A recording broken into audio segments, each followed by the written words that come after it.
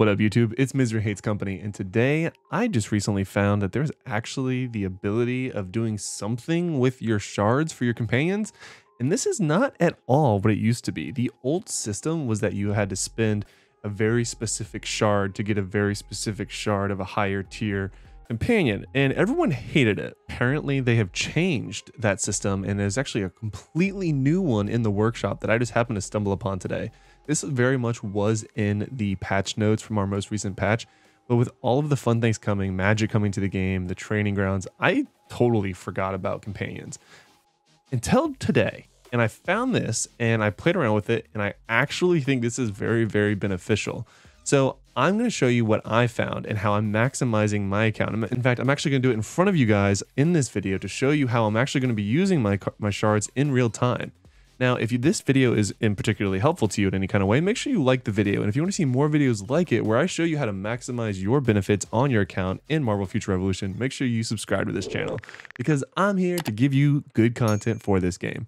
Now, without further ado, let's jump straight into the video because I think this is going to help a lot of you. I know it's going to help me. Okay, so in the workshop, you actually want to go down to the fourth tab, the, the companion tab, um, with the on screen so you know exactly which one you're looking at. So I'm gonna tell you guys right now that I would not use the special companion skill card uh, at all. That is a very expensive rate for 10 to, to 1 uh, from a rare card to a special one. And there are some very good rare companions that I feel like a lot of people are sleeping on. In fact, I'm gonna make a video about it later this week on some of the rare companions that could actually be meta if you're not already using them in the current uh, Dimension Duels as well as Omega Wars. If you want to see that video, make sure you like this video and tell me in the comments that you want to see it because um, I found one today that I'm actually going to start using. All right, so next up, uh, you'll see the special companion shard and the rare companion shard. So the rare companion shard will start at the bottom. Um, you're going to select it. It only costs gold, which is great. You take the common companion uh, shards and make turn them 10 into 1 to a rare companion shard. So while it is 10 to 1, um, I'm actually seeing benefit in this because I have a lot of these companions already maxed out, and I mean a lot of them.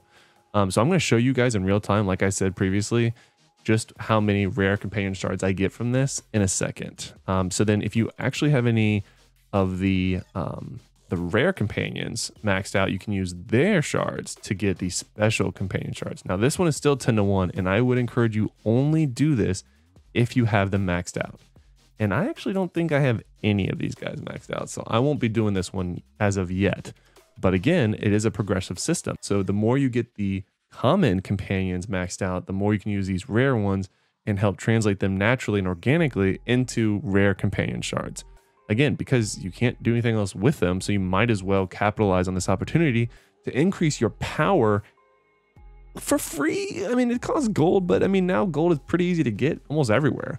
So let's go ahead and take a look at this for my account. So it does look like the max you can combine at any one time is a thousand for a grand total of 100 rare companion shards, which is pretty awesome. It's going to cost a decent penny now that I actually have it all pulled up. That is half a million gold.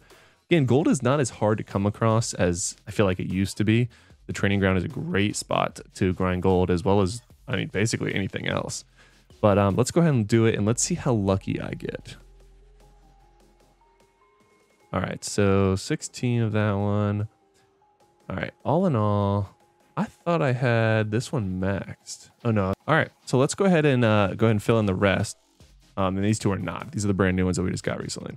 All right, so between uh, the last round and this round, I'm going to get 173 total rare companion shards for 1,732 of the common companion shards that are completely worthless to me. You can't get rid of them for anything outside of doing this. So you might as well. Again, if you guys are like me and didn't didn't realize this change happened, you might actually be sitting on a decent amount of um, shards that you could use for other companions to net you higher attack and other stats that could make your character stronger. I mean, don't sleep on this. Make sure you're taking advantage of it.